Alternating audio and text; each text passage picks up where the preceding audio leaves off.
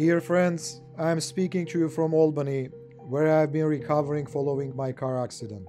I have been blessed to be in the caring hands of excellent doctors and nurses, and under watchful eyes of medical people from throughout our community, as well as the Armenian American Health Professionals Organization, all of them among the top people in their fields. I also know these weeks have been a time of deep concern for all of you. The messages of care you have sent to me have been very meaningful, sustaining my spirit with your love and encouragement. I am grateful for your prayers and good wishes.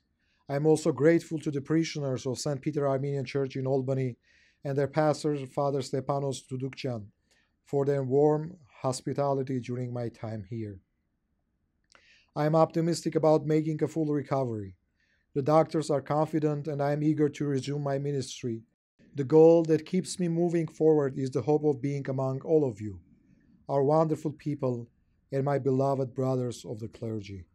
Every step I take now brings me closer to the day when we can all be together, and I know that God will lead us to that day. I send my blessings and affection to all our campers, Sunday school students, children, and youth as they enjoy the final weeks of summer. And I greatly look forward to visiting our camps next year. My friends, the weeks since my accident have been a time of trial, but these days have made me even more aware of the trials all of us have been enduring for the past few years. What I want to impress on all among you who are enduring hardship of body or spirit is this you are not alone. You are part of a community of faithful people who share the burdens and joys of living. That is the meaning of the church, and the Armenian church in particular.